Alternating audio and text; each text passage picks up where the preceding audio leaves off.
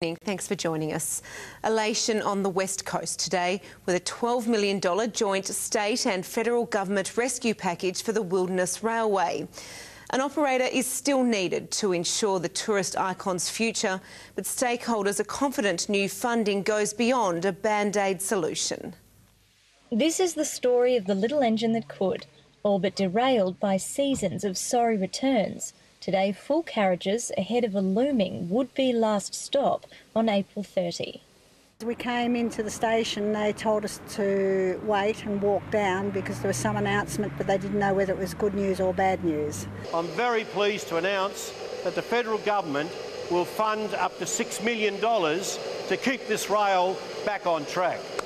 Local shops depend on the tourist draw. They've spent weeks unsure of their future livelihood it, it, would be losing the heart and soul of the, of the town, of the West Coast. It's such an iconic um, thing to have here.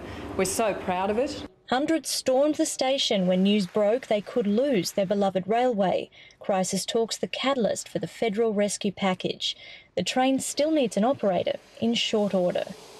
If we lose key people from the railway, accreditation ceases and the railway could stop tomorrow.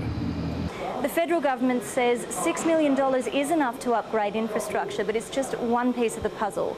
They're looking now to the state government for strong leadership in forming an operational model that will be viable for at least four years.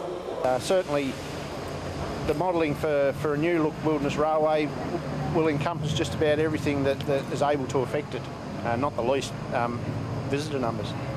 There is work to be done to ensure this engine keeps chugging along. In the meantime, these tourists are sharing first-hand good news on the next stage of their journey.